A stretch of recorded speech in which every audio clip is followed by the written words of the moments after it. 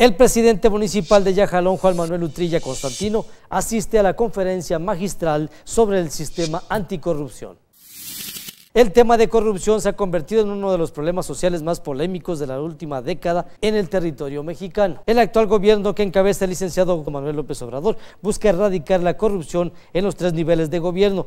Es por ello que solicita y hace un llamado a las autoridades para que se dejen llevar por los principios de honradez. El alcalde municipal de Yajalón, Juan Manuel Utrilla Constantino, acudió a la ciudad de Tuxtla Gutiérrez, Chiapas, el pasado jueves 24 de mayo, donde asistió a la conferencia magistral sobre el tema nacional anticorrupción, presidida por el doctor Rutilio Escandón Cadenas, gobernador constitucional del estado de Chiapas. La conferencia estuvo a cargo del maestro Eduardo Guacuja Betancur. Al respecto, el mandatario municipal hizo un llamado a todos los servidores públicos del ayuntamiento de Yajalón para que trabajen por los ciudadanos y no se dejen llevar ni caigan en la corrupción, pues su administración tiene como objetivo poner mano firme y limpiar para el desarrollo de Yajalón. Asimismo, enfatizó, hay cabida para la cuarta transformación en el municipio de Yajalón.